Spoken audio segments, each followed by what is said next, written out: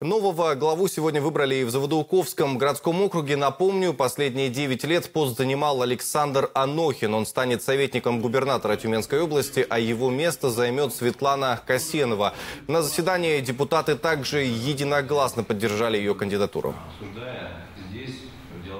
Все те приоритеты, все те направления, которые мы для себя будем определять в последующем, это только на благо наших жителей городского округа, чтобы они действительно гордились тем, что они здесь живут, что они здесь остались, что остались э, здесь их дети. Та команда в администрации, которая на сегодня есть, я думаю, что мы приоритеты свои немножко пересмотрим.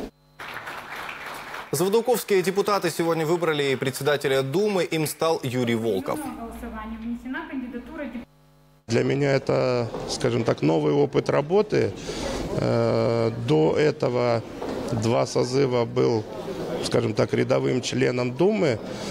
Э, Но, опять же, надо отдать должное, мои избиратели доверили мне и третий срок, а коллеги избрали председателем. Будем продолжать работать, будем продолжать э, традиции Думы Заводуковского городского округа.